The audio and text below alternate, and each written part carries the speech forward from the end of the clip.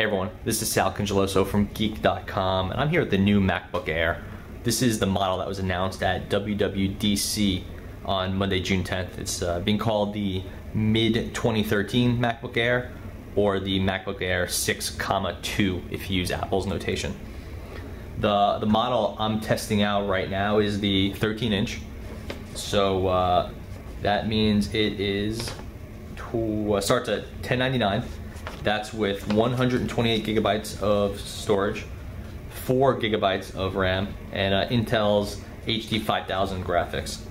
This is the uh, 1.3 gigahertz dual core Core i5 Haswell chip.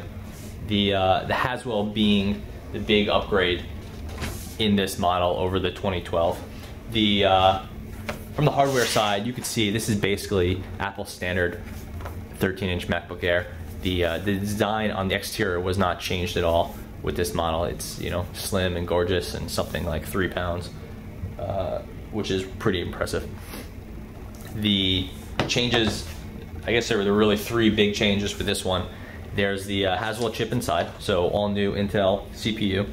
That also means uh, new graphics. It uses the HD 5000 as opposed to the HD 4000.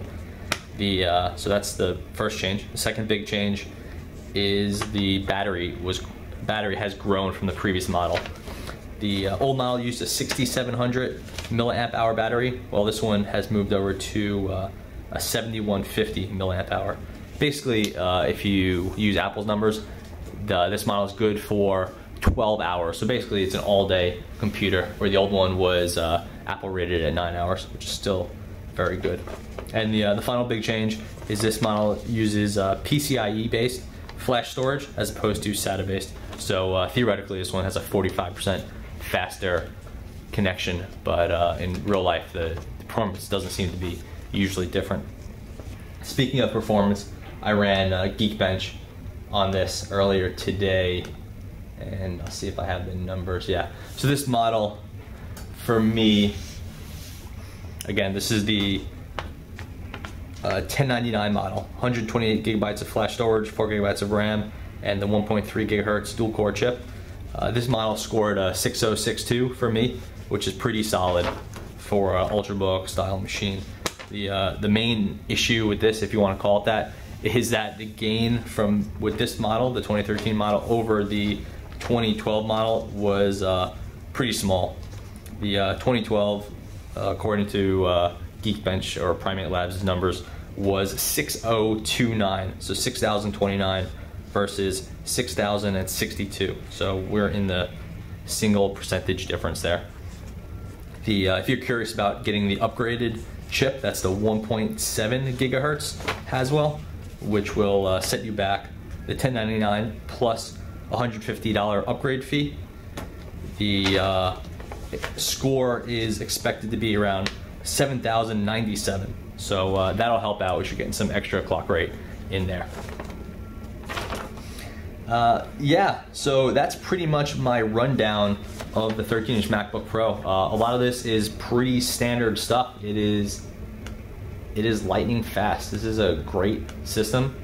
Uh, I'm a big fan of it. A lot of people, other, a lot of other people are as well. The uh, the new battery is a big deal. It'll help out.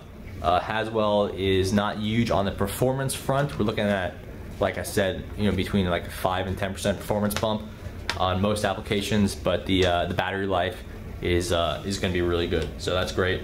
The it's worth pointing out that this display is not a Retina display. This is the standard MacBook Air display that we all have gotten used to. It runs at 1440 by 900, so no change there. The uh, you know the storage was bumped. The RAM stayed the same, graphics were bumped, the chips are better, but the display is staying the same for now.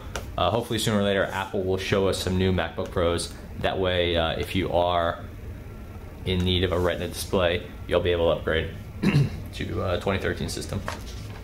Anyway, so that's it. This is Sal Cangeloso from Geek.com with the mid 2013 MacBook Air.